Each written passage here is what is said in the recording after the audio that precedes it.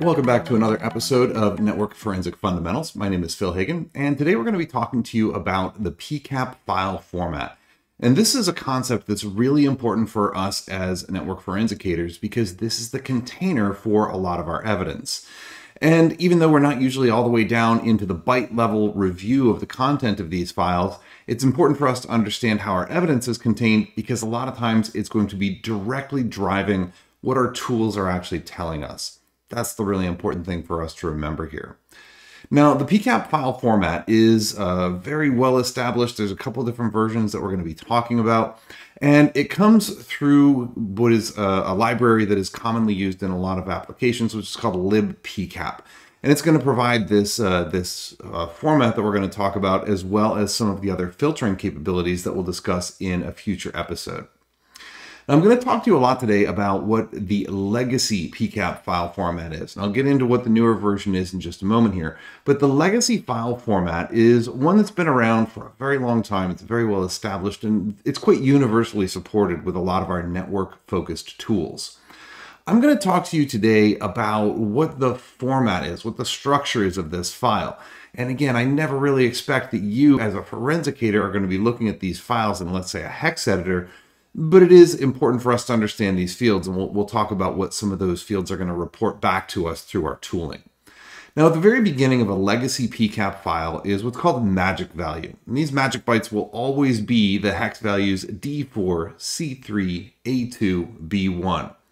This is going to tell Unix-based or Linux-based utilities that this is a PCAP file format, that that's what it's contained in here. Uh, the concept of a file name, specifically an extension, is cosmetic in the Linux-based world. Therefore, we need to look at the actual content itself, and that's where that first four value, first four byte uh, value comes from. Now, the next two values are going to be a version number, and this is going to refer to the PCAP file format specification of what you're looking at in this particular file. Now, long ago, this was a lot more relevant. Nowadays, you're going to see everything is going to be version 2.4 because that spec has been around since libpcap version 1.1.1, as you can see. But this is just something that is already established as a part of the file format. Therefore, we need to maintain integrity and maintain consistency with that file format. So these days, all of your legacy PCAP files are going to be 2.4. Then we have two reserved bytes. These are actually kind of interesting as well. Now, in practice, in any modern day PCAP file, these are going to be zeroed out. You're not going to see any values here. Now, in the original spec and the original intent here, these were reserved for a time zone offset as well as an accuracy value. So it would tell us how far away from the UTC time zone or universal coordinated time, all that the timestamps are in the file. And it would tell us if you have any more than six positions after the decimal point in your timestamps. In practice, all of our timestamps were converted to UTC, which is certainly a great practice, one we should all try to follow. And in the time uh, accuracy, the timestamp accuracy, they were all down to microseconds, which is those six digits after the decimal point. That said, we can't just skip over these because we no longer need them. So they're zeroed out, they're considered reserved. Those generally aren't going to be used. The next value we have is what is called the snapshot length. And the snapshot length is a value that refers to the maximum number of bytes that the utility that created this PCAP file was told it's allowed to take. Now, at first you might think, wait a minute, if I'm doing packet capture, why don't I want all the bytes? In a lot of cases, that's correct. But what if you're in a situation where you're legally prohibited from capturing content and you're limited just to headers? You might want to limit the number of bytes you have, and then you never have a possibility of capturing more than you're allowed. Or Maybe you're looking at a shortage of storage space, and instead of all of the packet content, you're going to go ahead and say, yeah, you know what, just give me the first 100 or 200 bytes.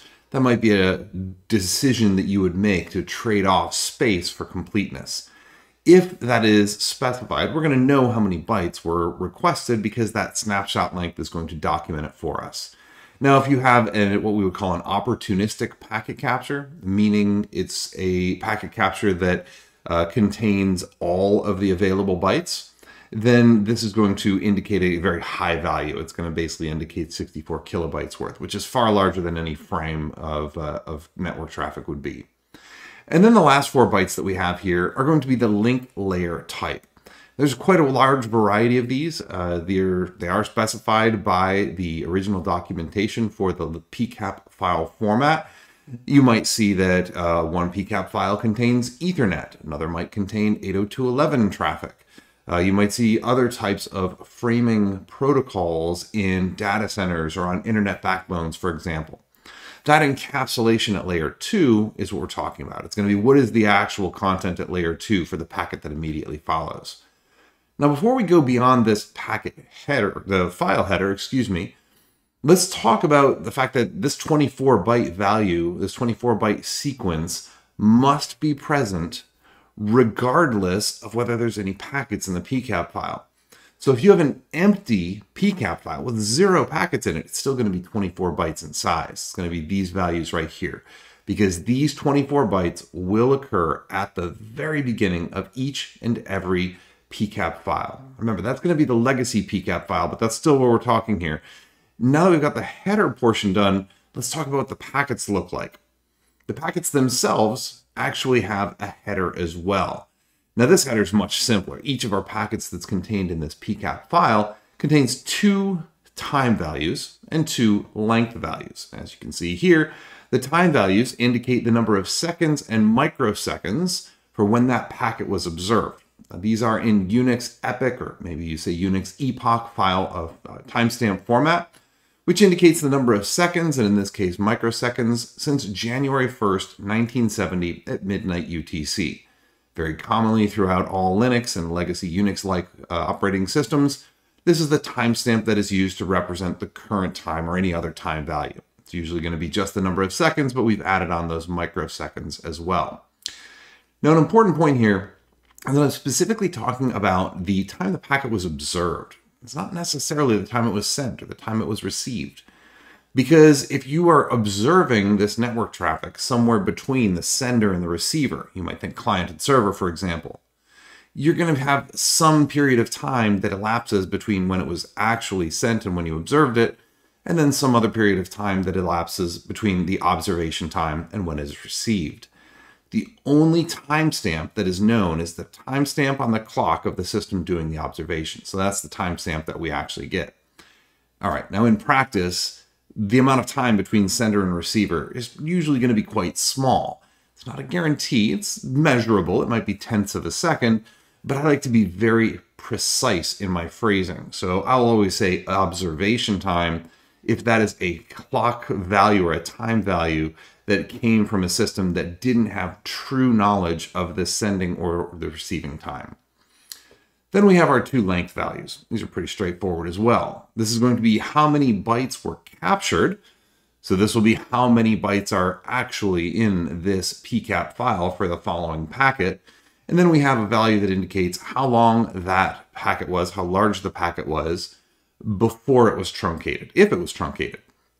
And that actually goes back to our snapshot length let's say we had a snapshot length that was specified that says, I'm only going to keep 54 bytes of traffic. And that's generally going to be enough for an Ethernet header, an IPv4 header, and a TCP or UDP header. That's a TCP header with no options included, of course.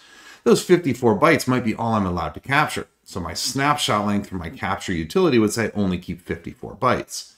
Now, if the original packet that follows this particular header was, let's say, 1500 bytes, it's a pretty common value of a, a maximum transmittable unit or an MTU on a given Ethernet segment. If it was originally 1500 bytes, but we only kept 54, then the length of the captured packet will say 54 bytes, and the length of the untruncated packet will still tell us that it was 1500 bytes.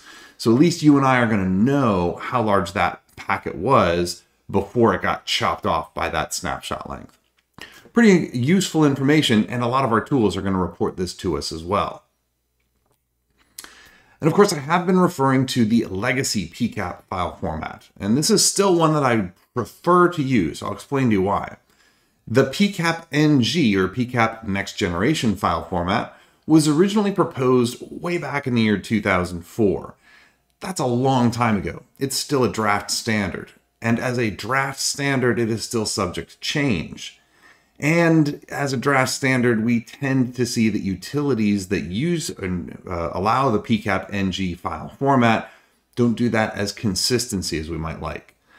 As the consistency needed for your forensic functionality there is very, very critical. I want to make sure my tools are returning useful information, valid information every single time. It's one of the tenets of proper forensic tooling, of course.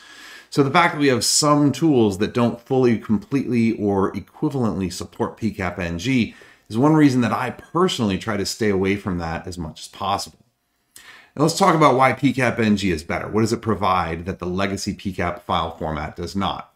It's actually pretty useful. It allows you to put multiple different capture interfaces or link types inside the same PCAP file.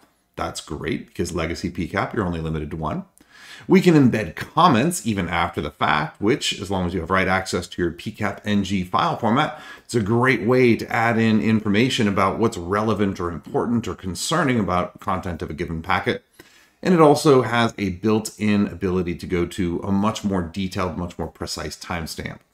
There's a couple of other valuable features that the PCAP NG format adds in, but those are really the big ones that we as forensicators are concerned with. But again, they come with a trade-off. We have these additional features, but our tools may not fully support them or may not consistently report back the, uh, uh, the, the contents or the, the nature of that file. So my recommendation is if you receive PCAP NG data as evidence, don't get rid of it. Make sure you keep that. But I like to convert that to legacy PCAP file format so that I know my tools are going to support that in a much more complete manner. That ends up being really critical, of course. And there's a lot of tools that can uh, that can actually do that conversion for us. The example that you see on screen here, this editcap command, is actually a built-in or, or uh, utility that's provided along with the Wireshark toolkit, which we'll talk about in a future module of this channel. And it's a, a, tool that allows you to do a variety of different uh, manipulations of PCAP files, including changing how they're encapsulated, what file format they're using. So you can see here, I have a PCAP NG file format indicated by the result of the file command. And then when I run this editcap command here, I convert it to a new file, not modifying the original, and you can see that this is now a PCAP file format, as indicated by the results of the second file command. All in all, this ends up being an incredibly useful way for us to ensure that our tools are going to consistently and accurately report based on the PCAP contents without ever actually getting rid of the PCAP NG original data. This is definitely my preferred workflow anytime I'm working with packet capture data that happens to come in in PCAP NG file format. A little word of caution though, if you do use this trick, you are going to lose all of those added benefits of the PCAP NG file format. That's fairly obvious, but it certainly bears mentioning just because we have to try to make the best trade-off decision that we can. That's just a little bit on the PCAP and PCAP NG file formats, really important fundamental concepts for us in network forensics. Have to do how your evidence is collected, how it's stored, for example, and as we're going to see coming up in future modules, it also is important for us because we need to know what our tools are telling us. A lot of that information will be coming from these PCAP file format. Hope you enjoyed this second section here, and we're looking forward to talking to you a little bit more in future modules.